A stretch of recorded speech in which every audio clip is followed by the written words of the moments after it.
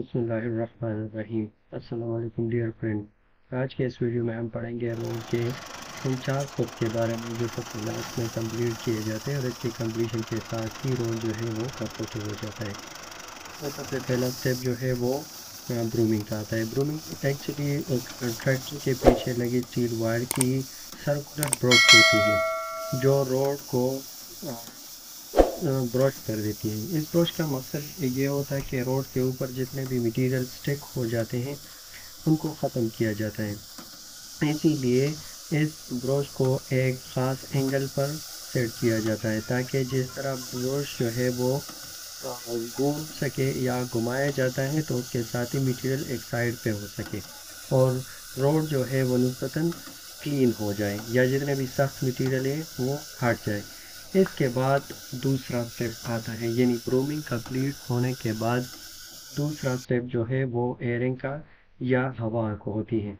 इस हवा में क्या होता है? इस हवा का मकसद ये होता है कि ब्रूमिंग हो जाने के बाद जितने भी मटेरियल आपके पास या इस रोड के ऊपर जो है वो सख्त मटेरियल हो, वो नरम हो जाते हैं और इस रोड के ऊपर जो है वो निकल आते हैं और ग्रूमिंग के साथ जितने भी मटेरियल साइड पे चले जाते हैं, वो तो ठीक होते हैं। लेकिन इसके अलावा जो मटेरियल साइड पे नहीं जाते, उसको साइड पे ले जाने या रोड के सरफेस पे हटाने के लिए इस हवा का इस्तेमाल किया जाता है।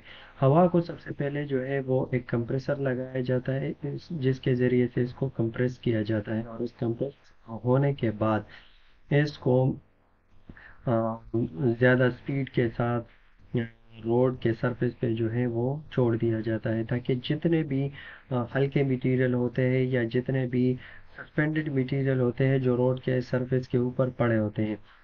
इस तरह आप इसको देख सकते हैं कि जितने भी पोर्स थे वो क्लियर हो चुके हैं। अब रोड जो है वो नस्बता ज़्यादा साफ़ हो चुका है। यानी जितने भी पोर्स थे, वो खुल चुके हैं। इस पोर्स को क्यों ओपन किया जाता है? इसका मकसद ये होता है कि आप जब इसके बाद तीसरा स्टेप आता है और उसमें स्प्रे किया जाएगा तो स्प्रे करने के लिए पोर्स ओपन होने चाहिए ताकि स्टिकिंग के लिए इसको जगह मिल सके और ये स्प्रे उस पोर्स के अंदर जा सके। और अगले स्टेप में जब आप इस पर बिचुमिनियस इस्पाल्ट की लेयर देंगे तो वो एक दूसरे के साथ स्टिक हो सके। अब यहाँ पर इस स्टेप में आप देख सकेंगे देख सकते हैं कि रोड सरफेस जो है वो नस्बता क्लीन हो चुका है। यानी ये स्प्रे के लिए तकरीबन रेडी हो चुका है। शोल्डर के अलावा ये स्प्रे के लिए रेडी हो चुका है।